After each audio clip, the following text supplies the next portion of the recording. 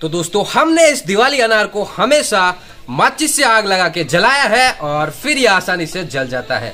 लेकिन आज हमने एक बार फिर वैसा मैकेनिज्म तैयार किया है जिसको देखने में आपको काफ़ी ज़्यादा मज़ा आता है। आप देख सकते हैं, एक इलेक्ट्रिसिटी बोर्ड है और ये बड़ा सारा अनार है, जिसको हमने वायर के साथ अटैचमेंट कर दिया। और हम जैसे ही स्विच को ऑन करेंगे तो ये जल पाएगा या नहीं? क्योंकि काफ़ी बड़ा अनार है और नॉर्मली जो फायर क्रैकर्स होते हैं, वो तो इलेक्ट्रिसिटी से जल जाते हैं, लेकिन अनार का क्वेश्चन आज आपके सामने हमने रख दिया। तो देखते हैं स्विच ऑन करके कि ये अनार जो है, जलता है या नहीं।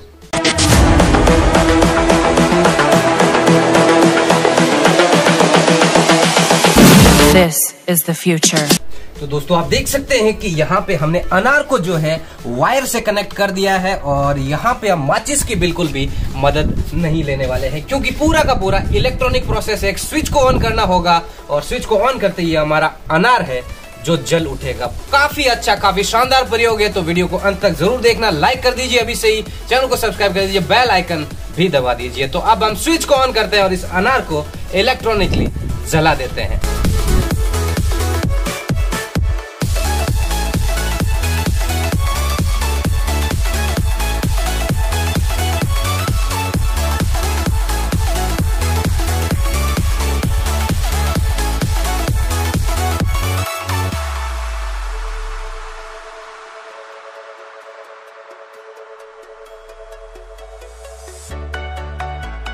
तो दोस्तों, मैं स्विच के पास पहुँच चुका हूँ और स्विच को ऑन कर देता हूँ। Ready three two one ready three two one